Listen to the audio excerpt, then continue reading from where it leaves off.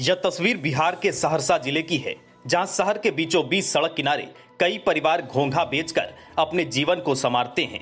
चुनाव के समय में इन महादलित परिवारों से सिर्फ़ वोट ले ली जाती है और इन्हीं महादलित परिवारों पर राजनीति की जाती है। ऐसे में यह महादलित परिवार घोंघा बेचकर अपने जीवन को संवारते हैं। छोटी छोटी बच्चियाँ इस काम में लगी रहती है, जिस उम्र में छोटी बच्चियों को स्कूल में होना चाहिए, वह घोंघा बेचकर अपने जीवन को संवारती है। अगले महीने विधानसभा चुनाव है। ऐसे में अब सवाल यह खड़ा होता है कि जब महादलित परिवार को सरकारी योजनाओं का लाभ अब तक क्यों नहीं मिला? क्यों नहीं इन लोगों को रोज़गार दी गई?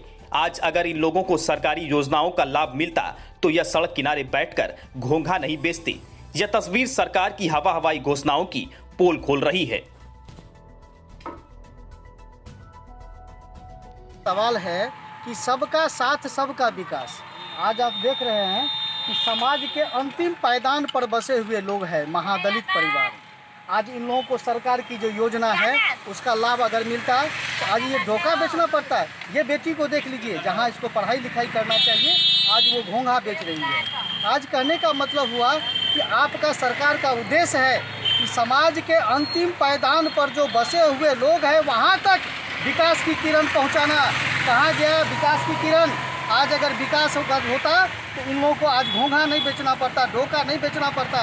आज सरकार इन्हीं लोगों पर राजनीति कर रही है। जीतन राम मांझी इन्हीं लोगों पर राजनीति कर रही है। आप आप देख लीजिए नीतीश कुमार जी को, नरेंद्र मोदी जी को, रामविलास पासवान जी को, सब इन्हीं लोगों के ऊपर राजनीति करते हैं और इनके इनका विकास नहीं हो रहा है। आखिर इसके विकास की राशि गई कहाँ? कहाँ गया विकास का पैसा? आज अगर विकास होता तो इन लोग को वृद्धा पेंशन नहीं मिल रहा है।